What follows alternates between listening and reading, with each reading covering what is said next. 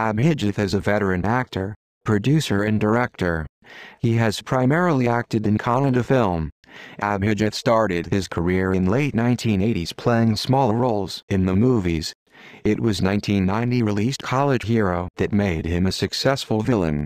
He played negative roles even after being a successful hero in the movies such as Mudai Namaiva, One Man Army, Very. Abhijit has acted in more than 125 movies in Kannada film industry.